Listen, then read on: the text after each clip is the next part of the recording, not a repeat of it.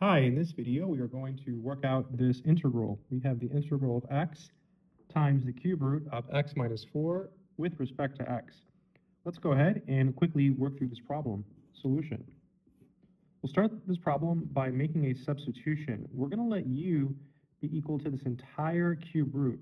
So we're going to let u be equal to the cube root of x minus 4.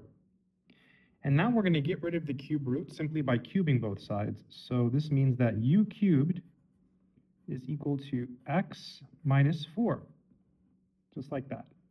Now we differentiate both sides using differential notation.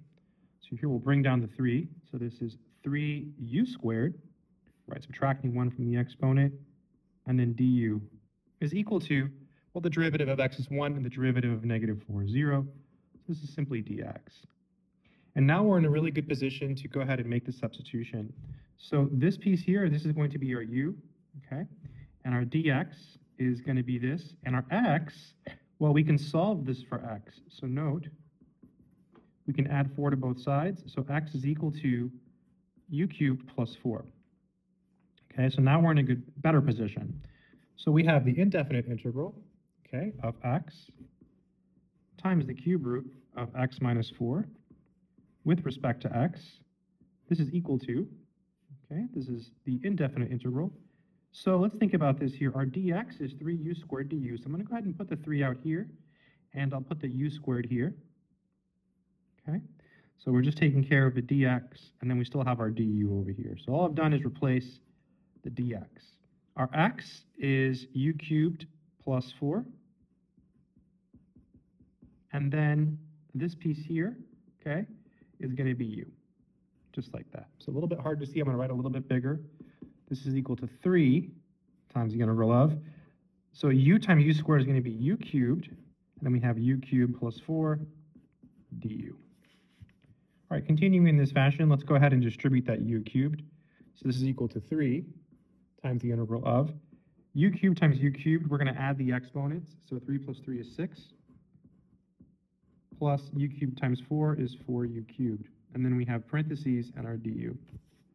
This is equal to, let's go ahead and distribute the 3 and integrate at the same time. We're going to apply the power rule to each of these. So this is 3 times u to the 7 over 7 plus 3 times 4 is 12. So it's u to the 4 over 4 plus our constant of integration. So this is equal to 3 over 7.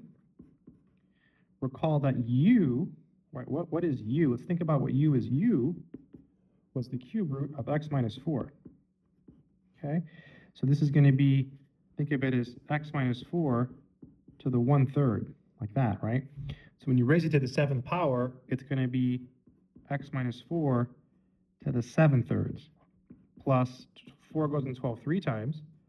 This is 3, x minus 4 to the 4 thirds, plus our constant of integration. So a little bit sneaky there, right? Because you're raising this first to the seventh power. Let me show you the steps. So it's x minus 4 to the 1 third to the seventh power. And then properties of exponents say you multiply.